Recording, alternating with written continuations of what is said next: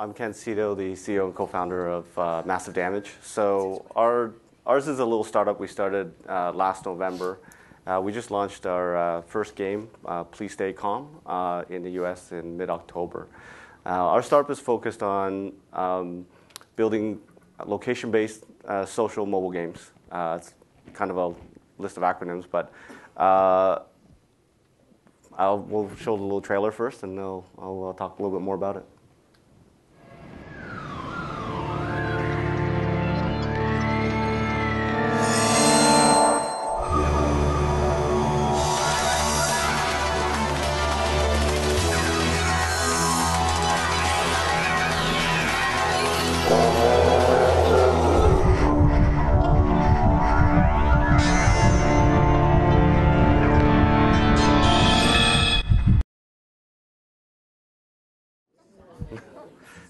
That icon's from our Christmas promotion, so we had to uh, change it up a little bit for uh, the holidays. Um, I won't talk about the, rain, the zombie reindeers or Santas in the game.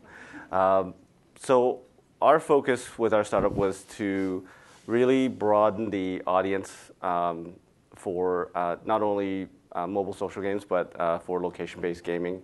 Uh, it's there has been several companies have uh, have gone into that space, but they've their approach is quite different from ours. We're actually trying to use location as a really interesting um, context for gaming as opposed to being uh, the main driver. So in our game, we don't actually ask people to run around the city and do things because most people play social games from their office or at their on their couch uh, for hours on end apparently. So to ask them to move around is kind of asking a lot of uh, the majority of players. So we've actually tried to be very pragmatic about our approach to location, location-based gaming. We use lo- real-world location names to really uh, connect with the players' affinity for their favorite places, like their office and their the cafe around the corner from where they work, uh, or at home, or their supermarket, uh, and kind of drive the gameplay there. So really, most people just kind of hover around where they normally are during the day, as opposed to having them run around the city. We do have people who do that, though. Somebody actually walked to the the uh, the pier at um, in San Francisco so they could make Alcatraz their safe house. So that's kind of cool. You hear little stories like that. Um, but uh, we're doing uh, doing pretty well. We just launched the game three months ago. We have about 10,000 daily active uh, players, and uh, there's uh, very good monetization and, and, and, engagement across our players. Basically, about uh, double the industry standard across all the various key metrics, and I think that is due to having that uh, emotional connection with, uh, you know, fighting zombies at actual locations that you recognize and uh, helping other people playing the game in their neighborhoods. So um, that's kind of what we're up to. Awesome. Well, I don't have a video presentation, um, but I'll start sort of, and it's really interesting the, the different kinds of companies that are on this panel because our trajectory being a bit different into the space. So BitHeads itself has been around for 16 years and started as a very hardcore technology company solving sort of net, network problems, very like low level um, brain trust stuff that I don't pretend to understand, and Scott understands a little bit more than me. Um, but over the over the course of those sort of 16 years, the the realization was that even a lot of this technology was having to have a face, like a, and the content was becoming increasingly important. Even something as simple as like a New York Times crossword app or whatever, this is still you know consumer facing. Uh, so I was brought in as part of the shift towards uh, providing a content face to some of this technology. And over the past uh, four or five years, we put out uh, a number of different games. Our most recent one, uh, which we were very uh, privileged to get some support from the OMDC on, was Sony Sideways. It's for Sony Online. And it's a kind of an integration of music and graffiti uh, and branded entertainment. And it's a story of a child who is actually becomes graffiti and he has adventures. It's like a platformer. Um, but it's very, very uh, intertwined with uh, music and sort of hip hop uh, style. So pure sort of content on that that and we've done things like Dungeons and Dragons Daggerdale, which is a bit more. I don't know if there's any D and D uh, nerds in here, but but that's uh, certainly a more mainstream product that we've produced. Uh, we've done games for um, all mobile platforms, console, um, social media games.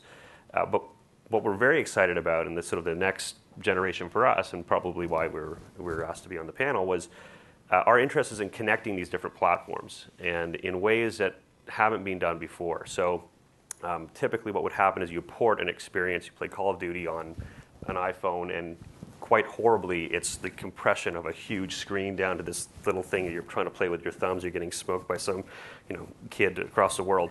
Um, and it's just not a good experience, but it's because people haven't taken the time to, to, figure out how people actually use these devices. And it's getting much, much better. I think social media has made that much uh, clearer. Um, but we're developing and have developed um, a vertical slice of technology that allows people to play, it's cloud enabled gaming across three screens. So it's the same game that's accessed in different ways, in a platform appropriate ways across different platforms. So, uh, as an example, and this we have not done yet, but the, the the example we're striving for is to have a continuous sort of 24 hour experience with a user. So the user at, at home is playing in a, in a living room environment or a PC environment. So they're playing a game in the way that it's supposed to be played with your 5.1 you know, surround sound and it's dark and you've, you've got a distance between the screen and yourself. You're playing with a controller. Uh, in that game, then the social media game, which you're playing at work in a very, very small uh, window that you hope your boss doesn't see, is kind of the meta game of that, which in an appropriate way, you have sort of five minute bursts of engagement in that. But it's not the same game. It's contributed to it. So if I level up here, I get a reward in here. Or by having an experience here, I'm getting something on the mobile version. And the mobile version is what keeps people engaged with it to and from work. So if you can imagine kind of an ecosystem that people live in, but it's not a port of a game across multiple platforms. It's the same game that you're playing in different in different ways. So one of the um, uh, the good fortune we've had as well to work with the experimental fund and the folks at the CMF uh, has been um, in working on um, a prototype for some of this technology in conjunction with uh, the Neuromancer project that we're, we're on because there's no better, no better ex- forward-facing consumer expression of technology than William Gibson and Neuromancer, right? So um, what we still, and it is now completed, and CMF will, uh, will see it shortly, um, but essentially, without giving too much away on that, it's, it's a way, it's a, it's a thin slice that demonstrates how you can have a, a console experience that actually um, is constantly uh, pinging back and forth between your, that and your uh, mobile device, but in an appropriate way. You're not playing the same game. You're using this as a hacking deck and that as a, as a, um, a, a proper sort of third person uh, interface. So that's kind of how we've come at it. We've, we've come at it from a technological standpoint and then sort of morphed into content, and now we're back in a place where the technology is driving the user experience in really, really interesting ways. And, and to, to sort of second what you've, you've said, like this is the absolute best environment to do those kinds of things in. Ontario, in particular, is very supportive of these kinds of endeavors, and you know, really, uh, we should be very thankful to be be uh, be working in this this kind of supportive environment. Yeah. Nice. Um, hi, I'm uh, Nic Sulsky. I'm the founder of InGamer. Um, in a nutshell, what InGamer is, it's a social game that you play in conjunction with live sporting events.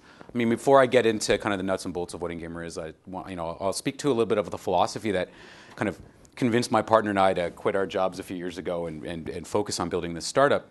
Um, you know, some of the things that, that uh, we believe are a matter of fact truths is that the future of content, the future of the way that people will engage with content, um, is that the only content people are going to have to watch in real time in the future are sports, award shows, elections. I mean, everything else is going to be on demand, PVR, Google TV, Apple TV. I mean, the ability to capture that real time audience is so important. And what social media has shown us is that in social media, when things happen in real time, that's when Twitter. That's when Twitter blows up. That's when Facebook is getting very popular.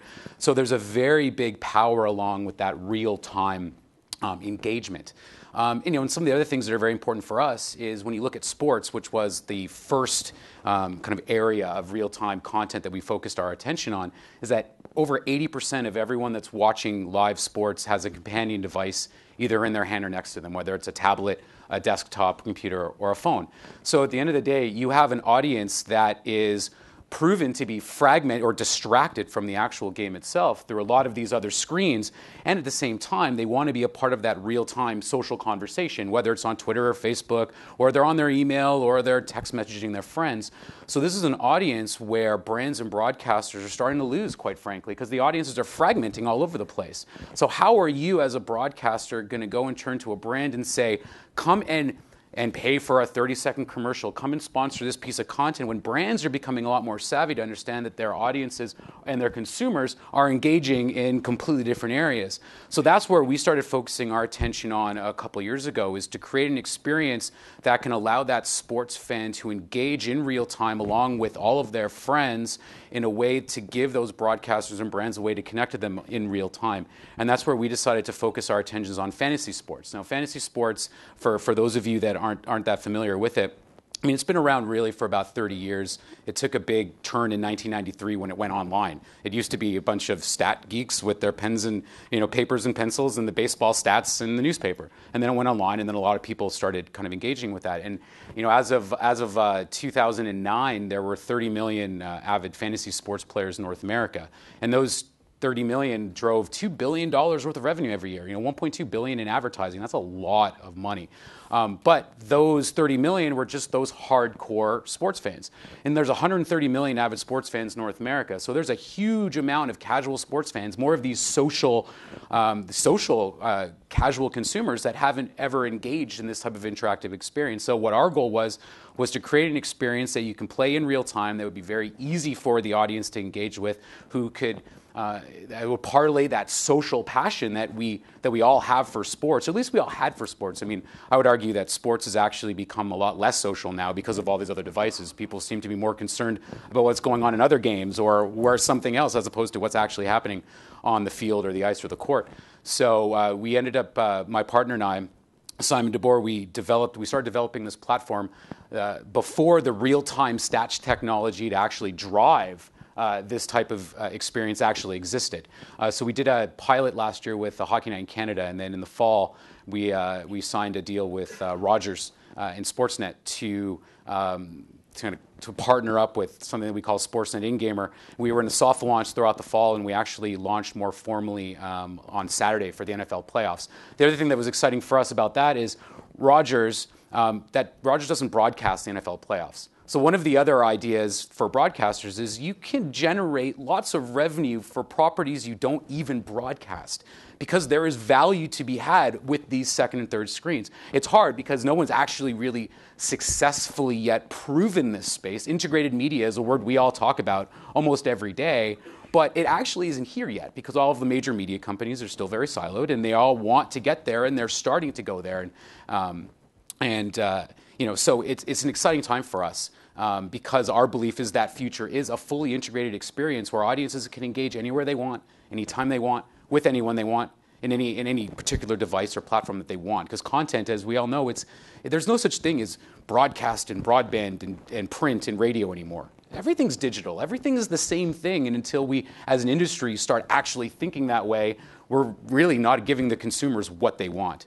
Anyway, I'll, I'll, stop becoming evangelical about that. So, I, uh, what I'll show you is just a quick little video. is more of like a place setter uh, until uh, until us with Rogers and Sportsnet we put together kind of our, our full kind of how-to video with personalities and such. But you'll see this is a video that uh, plays along with our game. And what I would say is um, uh, have a look and it's right now we've launched hockey and football and it's an easy game to play. People can play any, any night they want. So it's something that's very, um, uh, it's very comforting for people because I think the second you tell an audience member they have to do something a certain way, they're less likely to do it. So if you force people to do something every day, they're not going to do it. So um, I guess roll the video and then you'll have a good idea of kind of what the experience is all about.